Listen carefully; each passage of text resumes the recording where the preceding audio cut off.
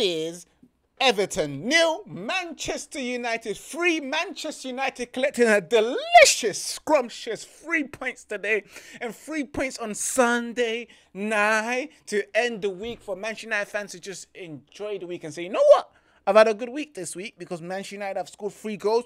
We are out of the, the negative goal difference. We're on zero right now. We six, sit about six points behind second place.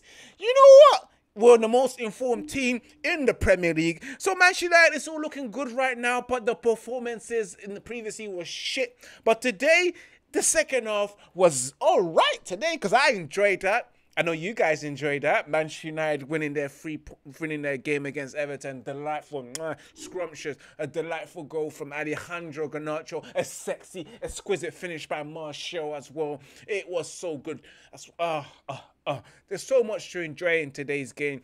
And their performance as well went well with it in the second half. But the first half, I have to say, whew, we was lucky because we was kind of getting cooked by Everton. Everton with 24 shots at Manchester United.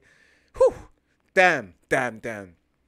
Let's go straight into it because the first 45 minutes, uh, when we scored early and that goal, that delicious early goal, because we don't score early goals, Manchester. No, we don't that cross from Diego Dalot and then a wonderful interplay as well with Rashford being involved. But that cross from Diego Dalot to find Alejandro Garnacho, Garnacho with the over the head kick, a scissors kick, a bicycle, whatever you want to call it. Alejandro Garnacho, Rooney S goal, Rooney-esque vibes it gave me against Manchester City in the Manchester Derby. What a delicious goal! It was mwah, mwah, mwah, Viva Garnacho with that goal, you know. Oh my God. Garnacho, what a goal. What a goal. It took my breath away, you know. It took my breath away.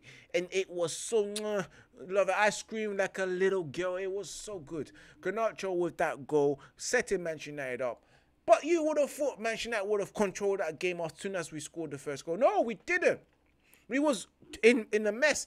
Everton had opportunities to make it 1 1, 2 1, 3 1. Thank God for Andre Onana, who was saving us with excellent saves as well. He is really good at one on one as well. He's good at that as well. He's a keeper at first, at most, and he does his job. The second half, when it was 1 0 to Manchester United half time, second half was thinking, yes, we need to go and claim and score an early goal and win this game comfortably. Manchester United came out the second half so much in control of that second half. I absolutely loved it. You know, we killed Everton to death in that second half. They had no hope. A goal coming from Marcus Rashford and the referee as well. He said no go at first. You see VAR, they're against us. But Manchester United said, you know what? We're going to step in here and said, tell that referee Martial got fouled by Ashley Young. And Ashley Young, thank you for one, you know, our former player giving us an assist. And 2 0, Marcus Rashford. Marcus Rashford scoring a goal, telling um, Lucy, um, I mean, Laurie, uh, sorry, sorry, um, Lucy, Lucy Loi, or Lucia Loi, whatever her name is, man. I keep forgetting her name. Um, yes, telling Lucia Loi yes, we are back. I'm back in scoring that goal. Mark Rashford with that penalty. Lucio Lloyd must be Lloyd must be thinking, yes, he's back. Rashford is back with a goal, but he played shit. And I always say it before, Lucio and Lloyd, Lucio Lloyd, please stay with Marcus Rashford for Everton. You know, for Everton because. Be- God, we know his GH ratio is poor when he's not with you, and he got that goal. That was for you, Lucio. You know, Stay with my boy Rashford. He's not the same without you. It's honestly, it's the truth. He's not the same without you.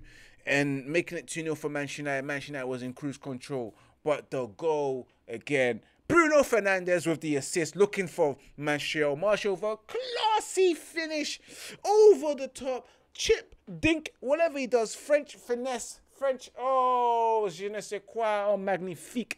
finish by Martial, and it was 3 0 to Manchester United. 3 0 whitewash, 3 0 and out. Everton couldn't do anything. They was 3 0 down and under. We won that game. It's fair and square. What a beautiful match it was for Manchester United in the second half, you know. Full time it was for Manchester United. Erik Ten Hag sitting in the stand with a touchline ban could not be any happier, just like I am. Could not be any happier, you know. Player wise today, I thought Garnacho in the first half and in this game had a good game. Uh, for Manchester United. Rashford had an abysmal game, but got the penalty, got the goal. Bruno Fernandes was abysmal as well. He was horrible with his decision making. He made me laugh at times with the opportunity to square it in and give a tap in for someone like Martial, but he didn't. He didn't at all. He was shit, but he got his assist as always. Andre Onana was excellent in goal.